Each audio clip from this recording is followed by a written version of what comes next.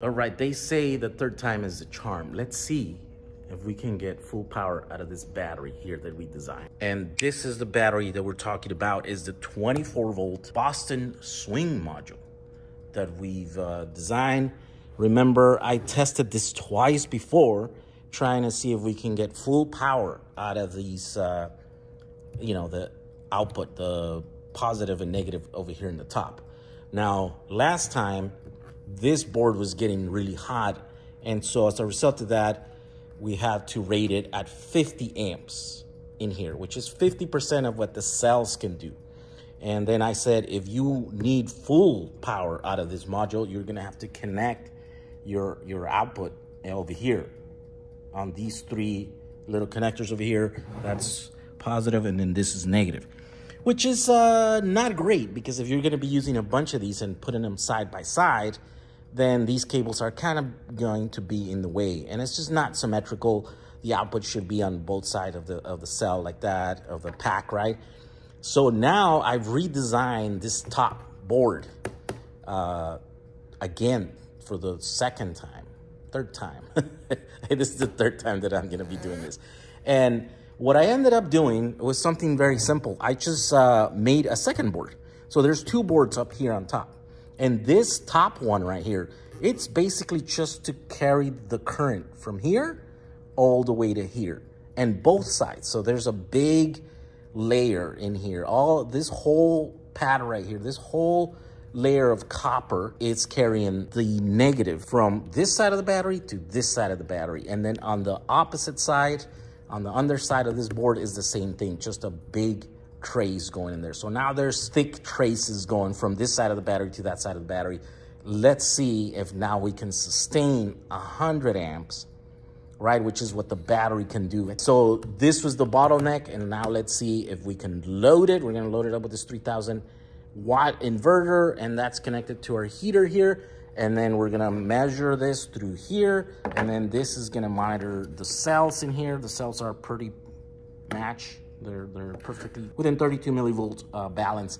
So let's do that and then we'll look at the thermal camera to see how hot this gets, right? If it gets too hot, then we missed our mark. But if it stays cool, then now we can rate this at 100 amps right here. That's our target. Let's go. Uh, it's loaded at 39, 40 amps. Let's add more load in here. 60, 75, 80, 82. Let's try 80 first and then put the thermal camera. So that's 81 amps. Let's put the thermal camera, see what the cables are doing before I add the full 100 amps. Right. All right, that's 100 right there. Let's see how hot that stuff gets.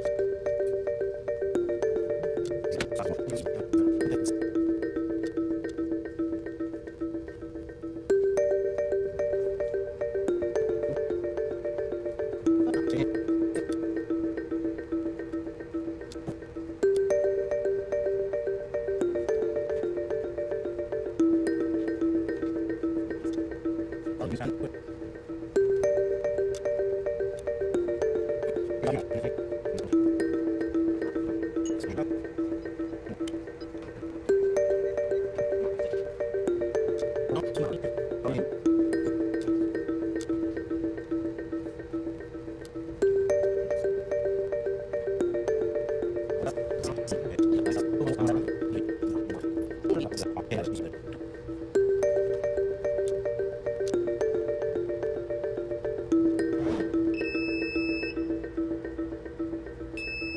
Oh, that's it. The uh, inverter saying the voltage is too low. 21 volts. So there we go, 20 minute test. Okay, so summary, success. We were able to remove power at a rate of 100 amps, which is the max or very near the max of what the little cells can do, right? And so now the bottleneck is the cells or maybe this little region here. So what we're gonna do is just put a note on our um, you know, build uh, thing there to put uh, extra, just double up on the uh, nickel strips here, down, going down this side, and that should help out lower the, the, uh, the temperature on this section here. So now basically this is gonna be able to handle the same as the cells, right? That was not bad. The, we did it, uh, look at that. So that's 8.9. So about 80% of the capacity we were able to remove at peak. Now, stuff got hot, right? And of course, cells are gonna get hot at peak if you run at peak. So the, you don't design your systems to run this at 100 amps, you know, up to 100 amps, you know, when you're, whatever it is, if you're putting this on a little motorcycle or an e-bike or a thing or whatever, it's just like when you hit it, uh, you know, only for X amount of time, right? Don't do a 100% depth of discharge at peak because then you're going to kill your cells really quickly, right? And so then, uh, but I wanted to be able to remove the max, the continuous max on this. Obviously, bursts, this can handle a lot. Maybe this can handle two, 300 amps, you know, for a, for a minute or for, you know, a few seconds or something. So just like the cells, right? The cells can handle a bit more for a short amount of time, but then after that, they'll start heating up and they'll reach their max temperature and then, you know, you'll run into problems doing that. So there you go. Doing two of these uh, 10 gauge cables is plenty to remove 100 amps. These can carry that. Um, and so there you go. Now there's a module 1.1 kilowatt hour and you can remove, you can load it with 2.4 kilowatt, right? And so when you're designing your battery system, whatever load that you have, these might serve you well if you need that kind of power at this kind of size, right? Obviously you can double this up, you know, put another one and another one, another one, connect them in parallel, and then connect your BMS in here. By the way, I am making these little adapters here so that when you connect, you can connect your ribbon here, and then your BMS can just go onto this little screw terminals. And so that way you can easily just connect your BMS, right? But the advantage of having these is that you can put a bunch of these modules and then just daisy chain them, right? Connect them all in parallel first, right? So that they balance each other. And then after that, you connect your ribbon all the way and then you connect your BMS and now this whole, you know, all your modules that are parallel become one single battery system so you can use one BMS. And we have this one, and then we have the 8S version for the lithium iron phosphate one. And then we have several other ones that we're gonna be using just in case, like for example, you wanna connect two of these in series, right? So that you can run 48 volts, which is a lot of people are going to do that.